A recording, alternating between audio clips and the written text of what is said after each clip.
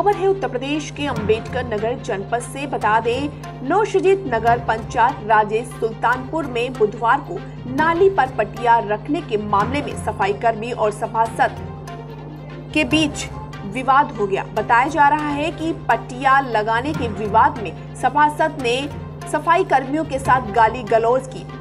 बता दें, सभी सफ़ाई कर्मी राजेश सुल्तानपुर जहाँ इंस्पेक्टर राजेश सुल्तानपुर बेचू यादव ने मामले को शांत कराया। सभासद ने कहा कि घटिया किस्म की पटिया लगाने के मामले में गाली गलौज हुई है।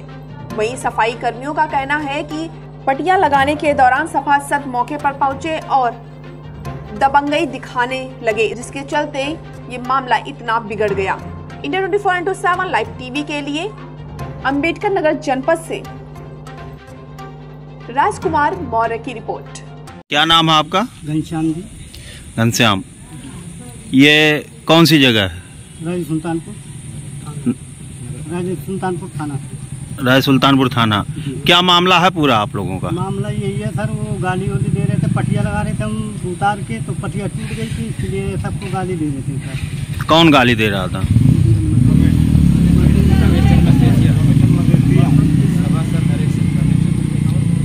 वार्ड नंबर बारह सभासद रमेश चंद मदेशिया जी। हम्म, क्या कह रहे थे?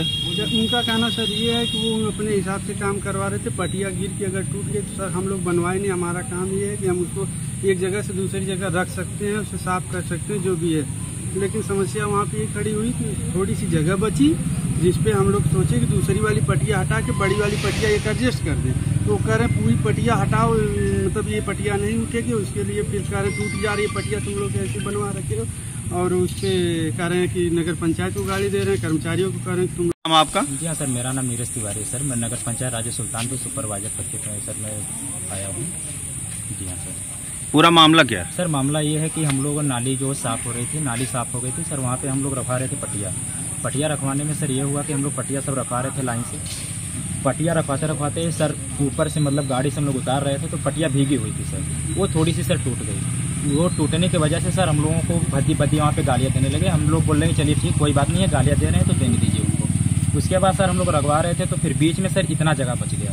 इतना बजा, जगह बचने के बावजूद हम लोग वहाँ पे और पटिया, उसके बगल में सर एक पतली सी पटिया थी, जो हम लोगों की पटिया ढलैया हुई है सर, वो मोटी और थोड़ी चौड़ी हुई है। तो सर बीच में जो जगह बचा हुआ था, सर उसको हम लोग ये सोचे कि जो पतली वाली है, इसको निकाल करके हम लोग चौड़ी वाली और मोटी वाली रख करके पूरा एडजस्ट कर देते हैं। तो सर उनका ये कहना था कि यहाँ से ये पटिया एकदम नहीं निकलेगा।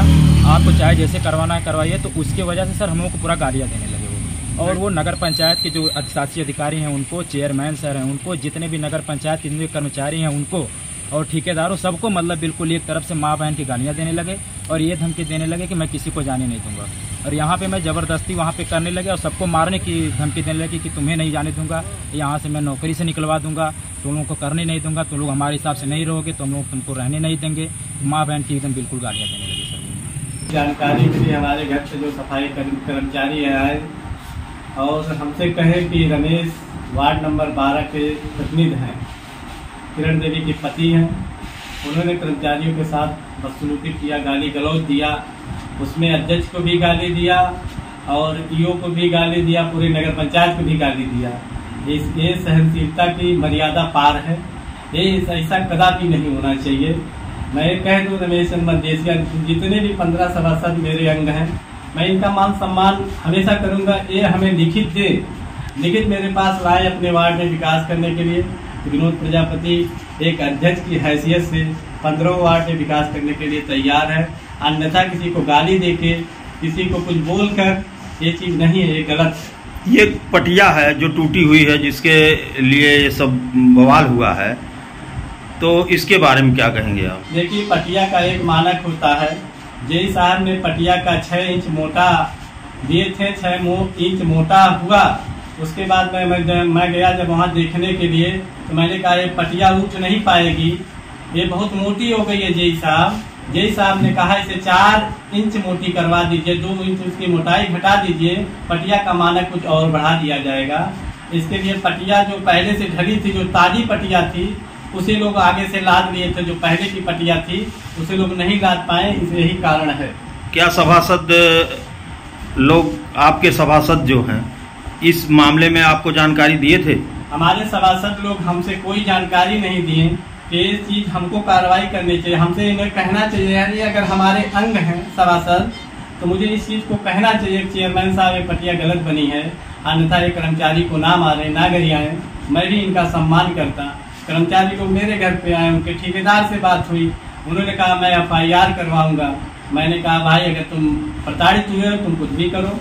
मेरे सभासद मेरे पास नहीं आए तो मैं क्या कर सकता हूँ? अगर मेरे सभासद मेरे पास आए होते, जिनके साथ न्याय होता, अन्याय नहीं होता, वो तो ठेकेदार का मैटर है, नगर पंचायत कर्मचारी का मैटर है।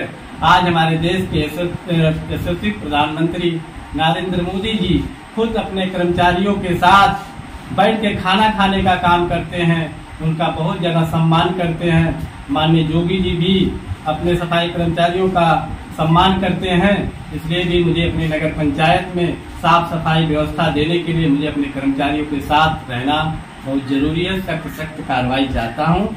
और इस नगर पंचायत में जो कोतवाली है, वहाँ हमारे कर्मचारियों के साथ बदसलूकी की गई है। इन्होंने सभासद की कुर्सी दिए थाने वाले और हमारे सभा, हमारे नगर पंचायत कर्मचारियों को गाली दे के भगाया गया थाने से। मैं इसकी निंदा करता हूँ, माननीय थाना अध्यक्ष महोदय ये गलत चीज़ है। हम लोग सदन वाले हैं। ये नहीं कि हम सड़क वाले हैं।